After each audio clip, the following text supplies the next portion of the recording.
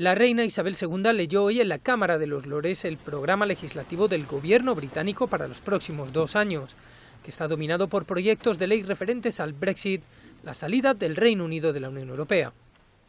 En el llamado discurso de la reina, que marca la apertura oficial del curso parlamentario, se refirió a las 27 leyes que el Ejecutivo conservador de la primera ministra Theresa May pretende impulsar esta legislatura,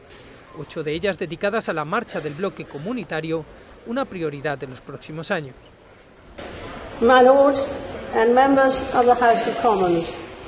Mis lores y miembros de la Cámara de los Comunes, mi prioridad de gobierno es asegurar el mejor acuerdo posible en la salida del Reino Unido de la Unión Europea. Mis ministros están comprometidos en trabajar con el Parlamento, las administraciones descentralizadas, empresas y otros para construir el consenso más amplio para el futuro del país fuera de la Unión. Por primera vez desde 1974, Isabel II encabezó una ceremonia con menos pompa de lo habitual,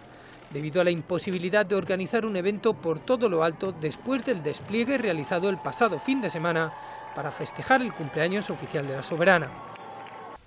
Además, Isabel II acudió al Parlamento sin su esposo, el duque de Edimburgo, hospitalizado anoche como medida de precaución a causa de una infección y al que sustituyó su primogénito, el príncipe de Gales, heredero al trono.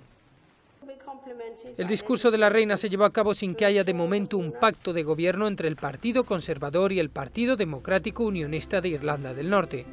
necesario para que Theresa May pueda sacar adelante un gobierno en minoría.